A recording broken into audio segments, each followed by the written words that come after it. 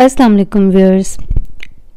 आज हम बहुत ही डिफरेंट यूनिक स्टाइल की चिकन पिज़्ज़ा ब्रेड बना रहे हैं। मेरे चैनल पे चिकन ब्रेड की रेसिपी ऑलरेडी मौजूद है, लेकिन ये जो चिकन पिज़्ज़ा ब्रेड है, ये उस रेसिपी से टोटल टोटल डिफरेंट है।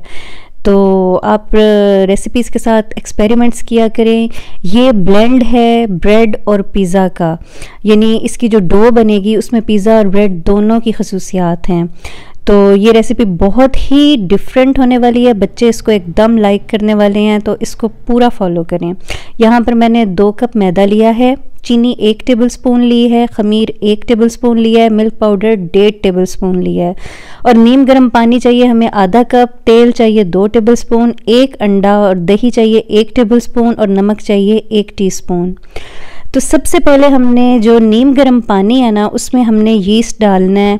साथ ही हम नमक ऐड करेंगे और चीनी ऐड करेंगे और इसमें ऑयल ऐड करेंगे। यीस्ट को अलहदा जो हम ये प्याले में घोलते हैं, इसका मकसद ये होता है कि यीस्ट अगर ख़राब हो तो हमारा सारा मटेरियल वो जो हमने मैदा बनाना है और पूरी रेसिपी हमारी स्पॉयल ना हो। अगर तो ये यीस्ट यहाँ पर रेस कर जाता है तो इसका मतलब है ये यीस्ट बिल्कुल ठीक है। तो इसीलिए मैं हमेशा प्रेफर करती हूँ कि आप साशे वाला यीस्ट यूज़ करें। क्योंकि वो पुराना नहीं होता है। अब यहाँ हमने मैदे में जो है मिल्क पाउडर डाला है। अब मैं इसमें दही ऐड कर रही हूँ। और इसका अब हमने अंडा ऐड करके ना, इसका हमने अब इस चीज़ों को हमने मिक्स कर देना है। तो अच्छे तरीके से इन चीज़ों को आप मिला लें। और अब इसको मैं एक बड़े पैन में शिफ्ट कर रही हूँ ताकि मैं इसको डो को आसानी से गूंद सकूँ। जितना ये डो अच्छा इसका गुंदा होगा, इतनी ही ये ब्रेड अच्छी बनेगी। अब जो हमने यीस्ट का मिक्सचर था, वो भी इसमें हमने ऐड कर दिया है। इसमें मुझे मज़ीद पानी डालने की कोई ज़रूरत नहीं पड़ी। अगर आपको लगता है कि ये मिक्सचर थोड़ा सा ड्राई है तो इसमें एक से दो टेबल स्पून दूध के डाल दें। अब इस आटे को आपने पाँच से सात मिनट तक अच्छी तरह से गूँधना है। ये स्टार्टिंग में काफ़ी चिपकने वाला आटा होता है, क्योंकि जैसे जैसे जो मैदा होता है ना उसका जो ग्लूटेन होता है, वो जब रिलीज़ होता है तो आहिस्ता आहिस्ता आटा बहुत अच्छा गूंदना शुरू हो जाता है। तो इस स्टेप पर अब आपने अच्छी तरह से आटे को गूंद कर इसको कवर करके किसी गर्म जगह पर एक से डेढ़ घंटे के लिए रख देना है।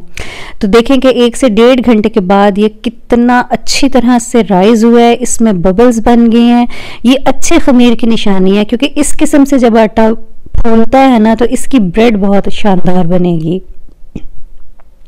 तो यहाँ पर अब इसको मैंने क्लिंग रैप से अलहदा करके इसको किसी फ्लैट सरफेस पे आपने इसको ट्रांसफ़र कर देना है, क्योंकि वहीं पे हम इसकी जाके जो पिज़्ज़ा ब्रेड की डो है, वो हम प्रिपेयर करेंगे। अब इस तरीके से आपने एक फ्लैट सरफेस पे खुशका बिछा लेना है और इसके ऊपर ये हमने रेक्टेंगुलर शेप में इसको बेल लेना है। मेरे पास रेक्टेंगुलर ट्रे है। सिर्फ़ एक पिज़्ज़े को मैंने डिफरेंट शक्ल दी कि राउंड पिज़्ज़ा तो हर वक्त ही खाया जाता है। तो एक डिफरेंट जो कि रेसिपी भी डिफरेंट है तो मैंने इस पिज़्ज़े को भी डिफरेंट रेक्टेंगुलर शेप दी है। तो इसको आप हाथों की मदद से रेक्टेंगुलर शेप में इसको आप कर लें, मुस्ततील शेप में। तो अब इसके बाद इसको आपने ना जो बेलना होता है, उसकी मदद से इसको सारा अपने इक्वल बेल लेना है। और इस रोटी की जो मोटाई है, वो एक इंच जितनी आपने रखनी है। ना बहुत पतली रखनी है, ना बहुत मोटी रखनी है। क्योंकि ये जो पिज़्ज़ा ब्रेड है, ये पिज़्ज़ा की डो से थोड़ी सी मोटी होगी। और ये जैसे पिज़्ज़ा का क्रस्ट जो होता है, वो बारीक वाला होता है, ये वैसी नहीं होगी, क्योंकि हमने इसको ब्रेड का टेक्सचर भी देना है। अब यहाँ पे जो आपकी बेकिंग ट्रे है, उसमें मैंने ये बटर पेपर लगा लिया है। इसको मैं ग्रीस करूँगी ऑयल से, ताकि जो ब्रेड है, वो इस पेपर के साथ चिपके नहीं। आप खाली मोल्ड में भी अच्छा खासा तेल लगा के आप ये पिज़्ज़ा जो है, इसको आप बेक कर सकते हैं। अब चूँकि ये रोटी थोड़ी बड़ी है साइज़ में तो इसको आपने बेलने के ऊपर फोल्ड करके बहुत ही एहतियात के साथ आपने इसको ट्रे में शिफ्ट कर लेना है। तो जितना अच्छा यहाँ पर एक इंपॉर्टेंट टिप ये है कि हम आटे को जितना अच्छे तरीके से गूंदते हैं और उसका ख़मीर जितना अच्छा हम उठाते हैं ना तो आपका टोटल पिज़्ज़ा उसी आ, आटे पे बेस्ड होता है यानी कि उसकी डो पे बेस्ड होता है और फिर उसके बाद नंबर आता है टॉपिंग का। यहाँ अब जो मैंने रोटी बेली थी, उसको मैंने ट्रे में शिफ्ट कर दिया है। ट्रे में उसको अच्छी तरह से एडजस्ट करें कि वो प्रॉपर ट्रे में एक शेप में आ जाए। अगर आपके पास राउंड पिज़्ज़ा ट्रे है तो आप बेशक राउंड पिज़्ज़ा ट्रे ले लें।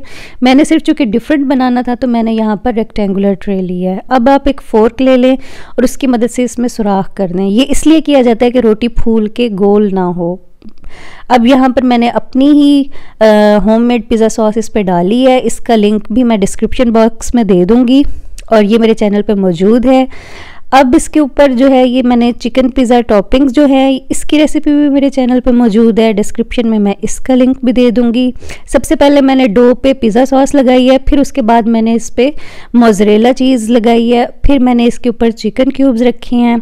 उसके बाद मैंने इसमें मुख्तलिफ़ रंगों की कलरफुल सी बेल पेपर्स डिफरेंट स्टाइल में काट के इसके ऊपर मैंने रखी हैं ट्रायंगुलर शेप में। आपने इसमें चीज़ की क्वांटिटी ज़्यादा इस्तेमाल करनी है। अगर मेरा चैनल आपको पसंद आ रहा है तो काइंडली इसको सब्सक्राइब करें, मेरी रेसिपी को लाइक करें और बेल आइकन को लाजमी प्रेस करें। यहाँ पर मेरे पास स्वीट कॉर्नस पड़े हुए थे, ये बहुत अच्छा फ्लेवर देते हैं पिज़्ज़े के अंदर। इन स्वीट कॉर्नस को आप भी इसमें ऐड कर दें। यहाँ पर अब हमने 180 डिग्री सेंटीग्रेड पर इसको 15 से 20 मिनट प्री हीटेड ओवन में बेक करना है। ये देखें 15 से 20 मिनट के बाद ये कितनी खूबसूरत इसका टेक्सचर आया है, ये कितनी खूबसूरत तैयार हुई है। इसमें बहुत ज़्यादा रंग बिरंगे से कलरफुल ये नज़र आ रही है, बहुत ही डिफरेंट